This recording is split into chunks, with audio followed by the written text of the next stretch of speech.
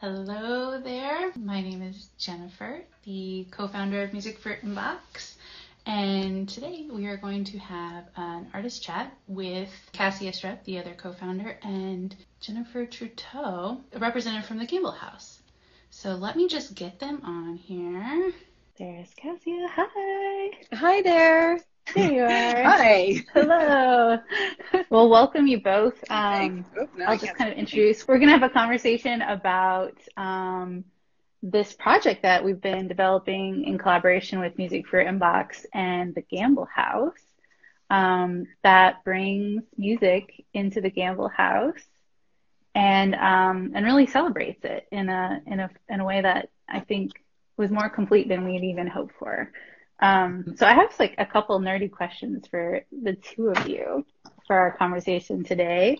Um, my first one, Jennifer, is to you. Mhm. Um, so we we've been refer you know, we've been blabbing on our social media about Gamble House, Gamble House. But for people who have never been there, what is the Gamble House? I know there's a great description. It's the most complete and best preserved work of American arts and craft architects Charles and Henry Greene. But this is much more than a complete, like a structure. Um, can you talk to us about what the Gamble is and what it means about how completely preserved this um, this space is? Sure. Yeah. Um, the Gamble House uh, was built in 1908. It was completed in 1909, and then over the next two years or so, all of these furnishings um, that you see in the house were completed uh, to the designs of the architects. So they were all made for the house. So everything that we have in terms of the contents is the original furniture that the Gamble family had here in 1909 uh, through 1911 when they were first living here.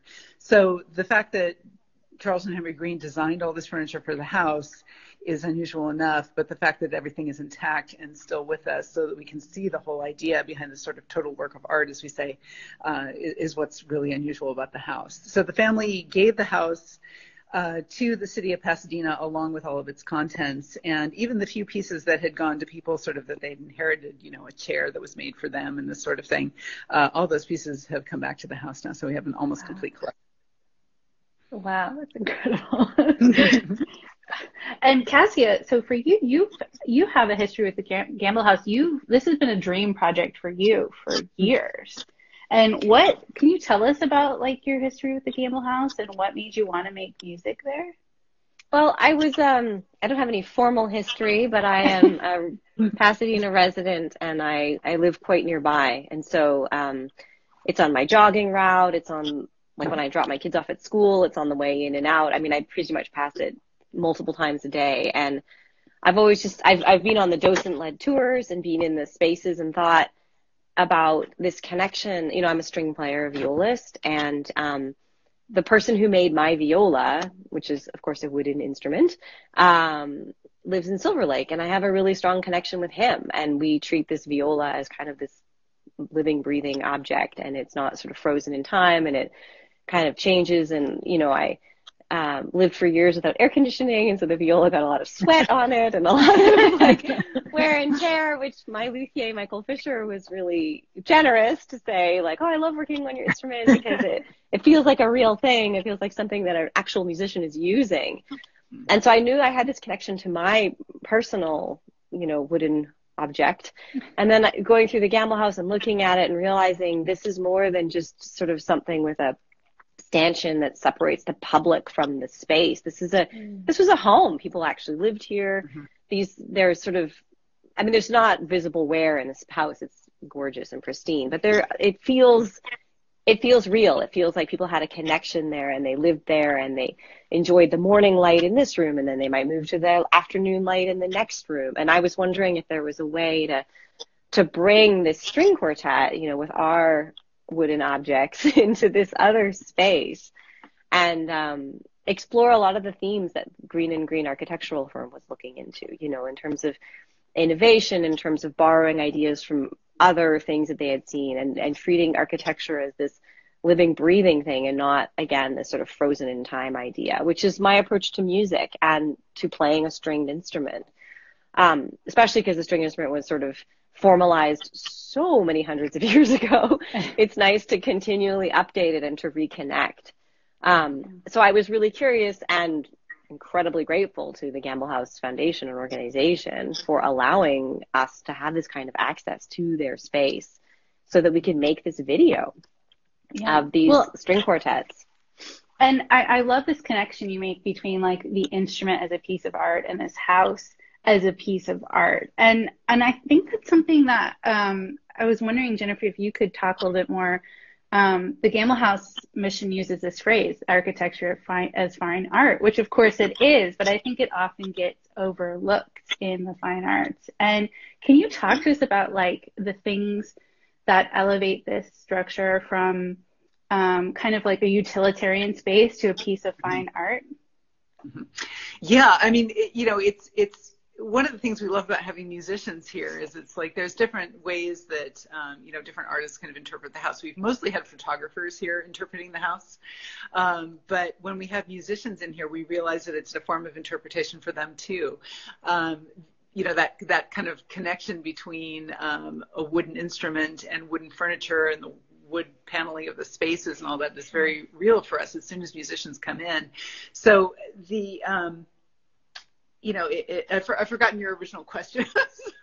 well, but so there are so many features of this house that are, oh, are really elevated. Yeah. yeah, I, I think that, um, you know, one of the things we see, for example, behind me here, there's an, an art glass um, uh, cabinet front um, next here, next to the fireplace, and everywhere you look in the house there are these kinds of artistic details that um, you know like for example here is uh, a switch plate for a light switch and you know a lot of people have these put but push button light switches still in their houses or maybe you've never seen one before. But if you look at the um, the shape of the plate the shape of the plate echoes things like the shape of the um, the wood, and so everything is kind of knitted together so there's this continuity of all the motifs that are used in the house um, that hold together things like from this utilitarian things like this light switch plate to the the furniture to the built-ins.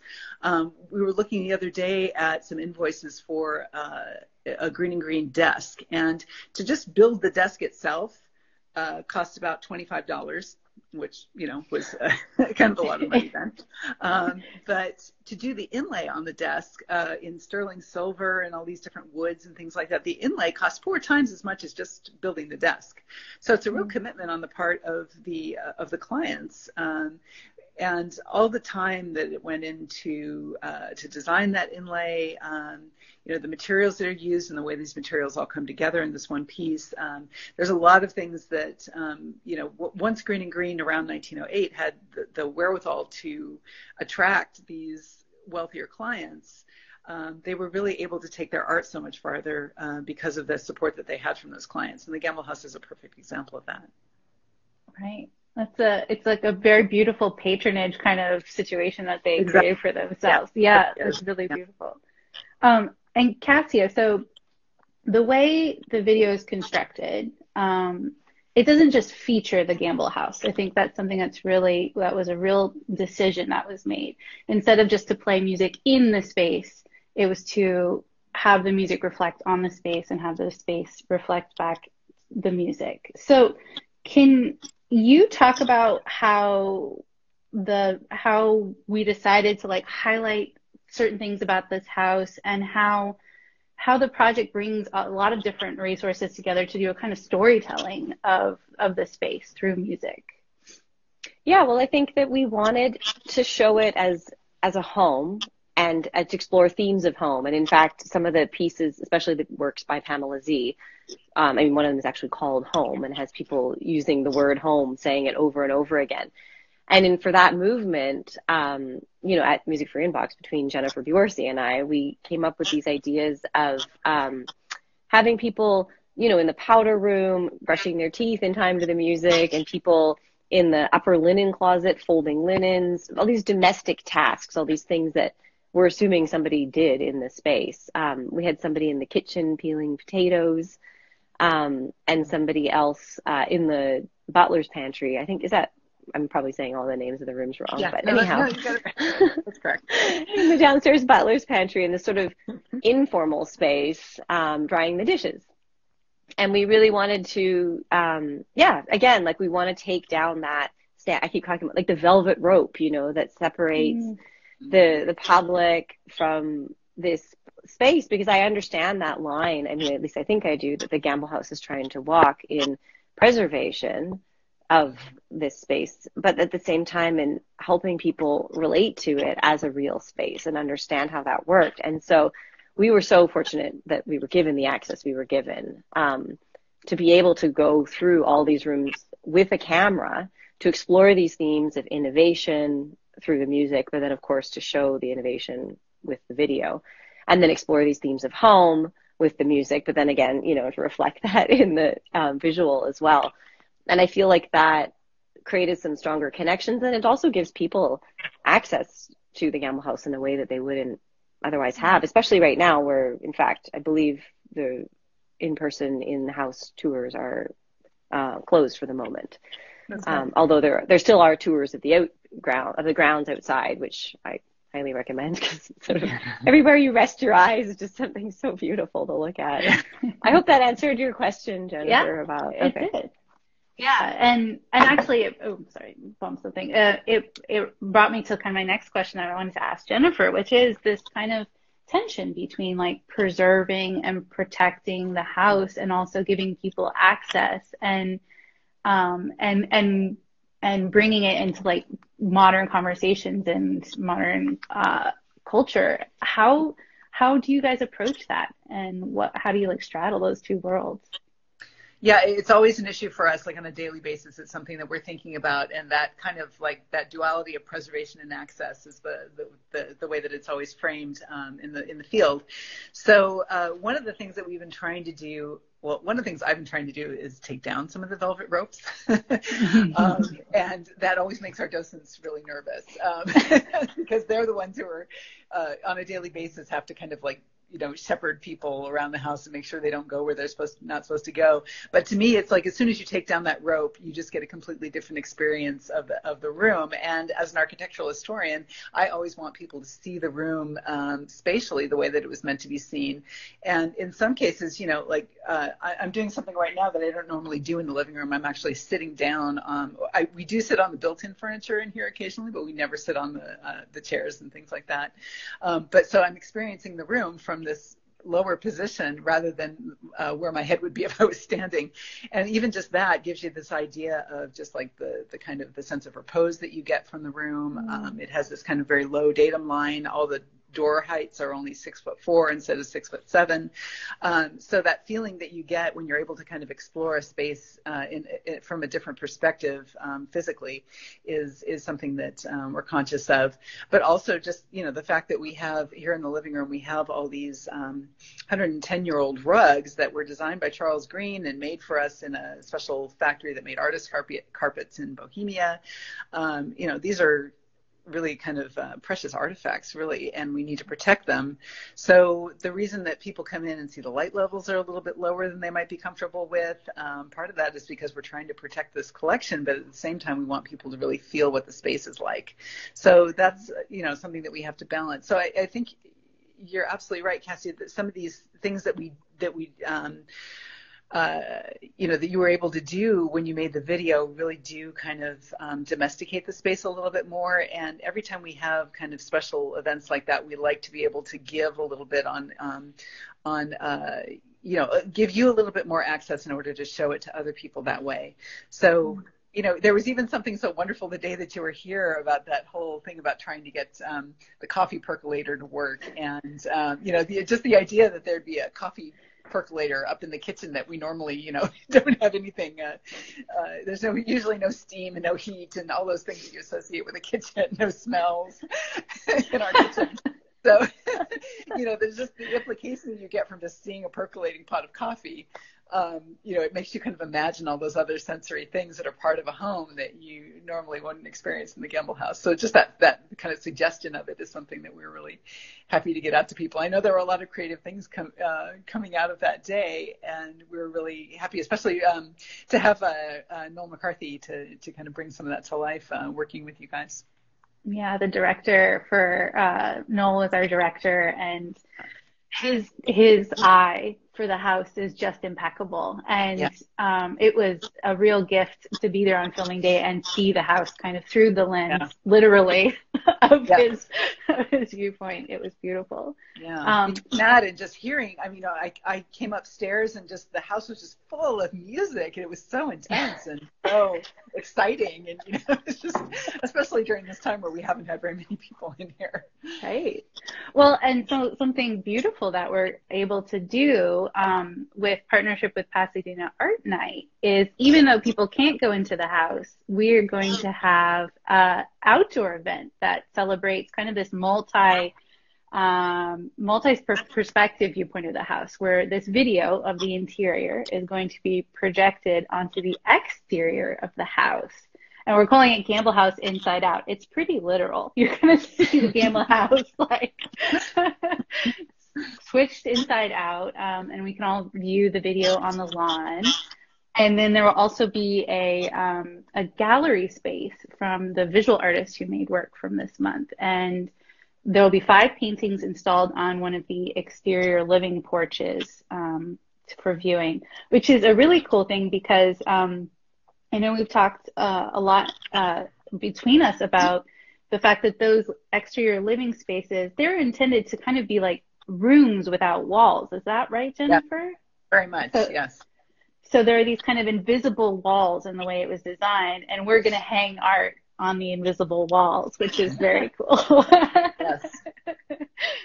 so that's happening on Friday from Right. 6 to 10 p.m. at the Gamble House, and it's free. So Mhm. wanted to say that for anyone watching. um, and then I had one question left for the both of you. You kind of touched on it.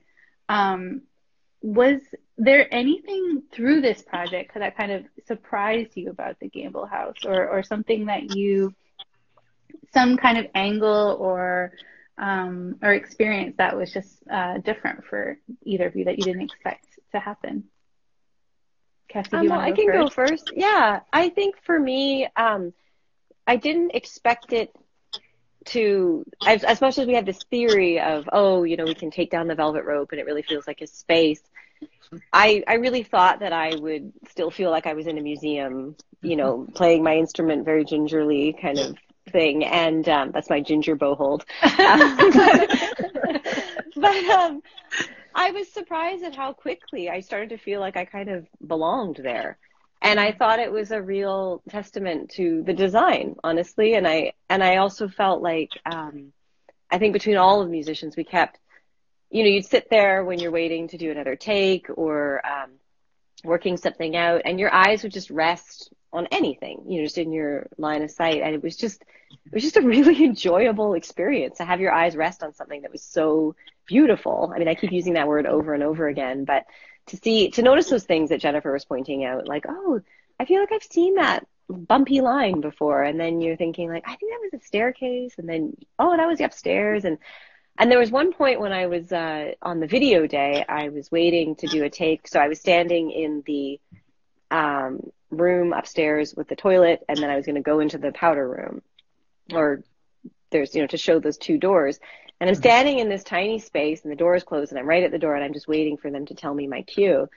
And I just sort of thought, you know, this is a really amazing experience to just be here. and it's just me and I'm just in this little tiny, beautiful tiny toilet room I mean, with every detail totally kind of attended to and this beautiful um, doors and the glass on the doors. And I think, yeah, I think so. I think long answer long, I felt really surprised by um, how quickly it felt like home, and Mhm. also um, how kind of it just sort of takes you over. Like it just sort of it's bigger than you are, kind of thing, and you're just in this space having this experience without any kind of prompt.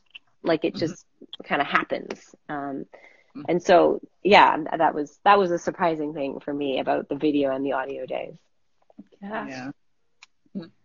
Jennifer, do you have any? Yeah, I mean, I think that really it was just that, that experience of hearing the sound in the space that was mm-hmm. that I mm-hmm. described that was really the most striking thing for me. Um, but I, you know, I've had that same experience. Um, I've been involved with the house since since 2004 when I became a docent, um, and we do welcome a new uh, class of volunteer docents and train them uh, every year.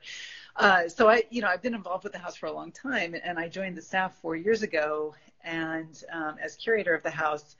And once you have that kind of other level of access, uh, like everyone was able to have that day that you were filming, it, it's true. It does kind of suck you in, and you start to see it differently. Um, because we don't like people to come here and feel like they're not at home. And yet at the same time like we talked about you know you you want people to be respectful. You want people not to be touching things and not leaning against things and all that. Um, and that goes for when we're doing special filming and things like that in here too.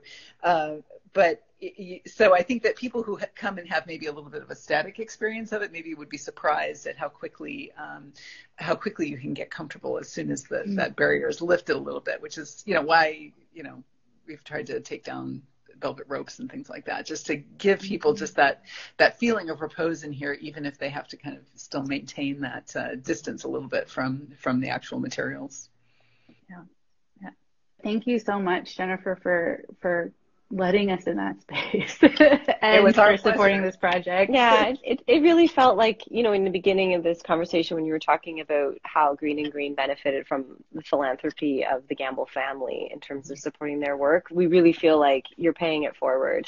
Yeah. I mean, that this space is there with all of these amazing objects and and the, and allowing artists to have access. I mean, this is a, a real form of patronage, and um, mm. you know, and we those, don't take those collaborations really surprise us every time, and really allow us to see the house in a different way, mm. as well as allowing everybody to whom it's less familiar to see it in a different way. So that's you know, it, it's it's it's such a mutually beneficial uh, arrangement. Yeah, it's beautiful. Well, thank you both so much. Thank you. Bye. Thanks to both of you. Bye. bye bye.